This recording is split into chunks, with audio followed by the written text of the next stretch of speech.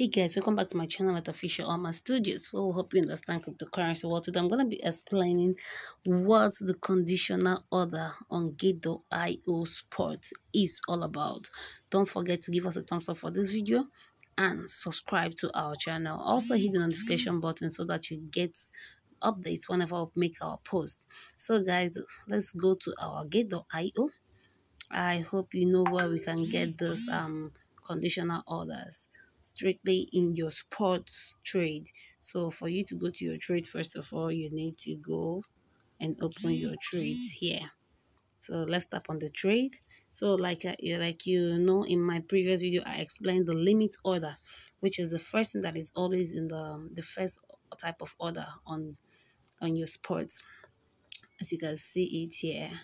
So for us to get to the conditional order, you need to tap on it let's tap on the limit order and we'll see options. Here is the conditional order so let's tap on it. So now i'll be explaining the conditional order for buy and for sell. So now this conditional order as you can see it's brought out an option here that says trigger price. As you can see there is already a price here but it also say a trigger price. So now this um conditional order is an order based on condition. Now, let's say the price of BTC is 38.19181 and you want to buy at a cheaper price. So you can either reduce it here, you can either reduce it here, or you can just type the price you want to buy. As you can see, the current price of BTC. Now, let's say we want to buy when the price of BTC gets to 38,150 yes yes it's 38,150 but you don't want to miss out. So because you don't want to miss out, you're going to set a trigger price so that whenever it gets to that trigger price, you will know um, that it is time for you to buy. So now for us to see our trigger price, you're the one to set a trigger price.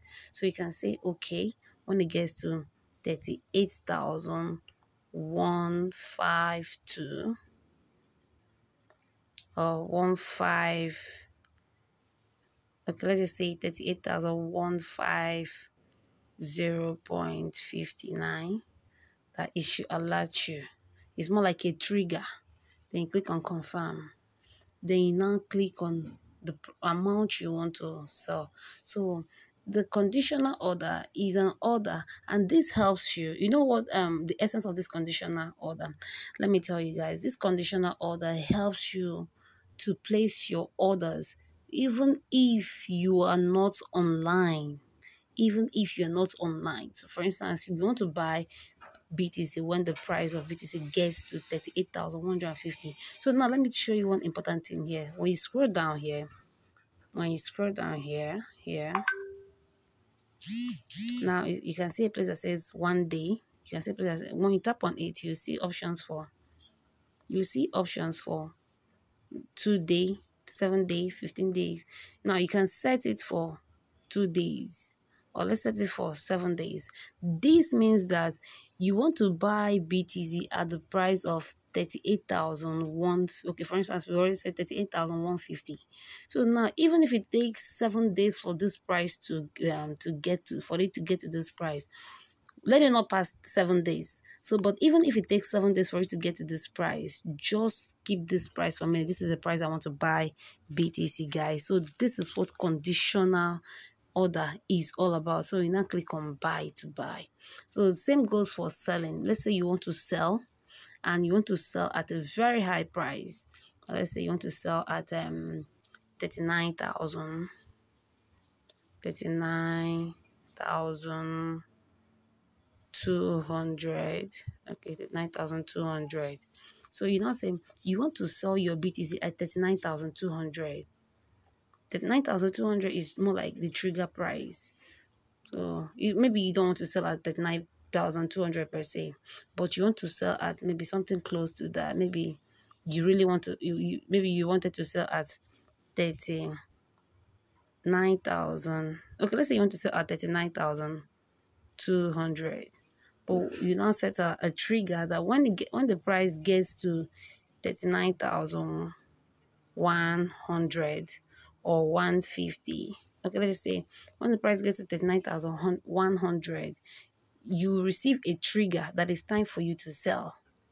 So when the price gets to um 39,200 whether or not you are online it will automatically sell for you. Most times they set the trigger to be the same price uh, to be the same thing with the price so that when the time gets to uh, maybe um, you can say, okay, when the trigger gets to 39,100, it should sell for you at 39,102.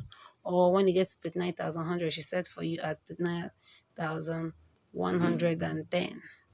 So guys, this is just then you set your amount. You slide your amount, the amount you want to sell. Then also remember that your sell, your days, your transaction is valid for this number of days, seven days, which means even if it takes seven days for you to get to 39,100, um, it should just be there for you. It should just be there for you. So guys, this is how um, you can do this is just a simple explanation of what the conditional trade is on the gate.io um, spot trading. Do not hesitate to drop your comment or question in the comment box. Please and subscribe to our channel and give us a thumbs up for this video. See you in my next class. Bye.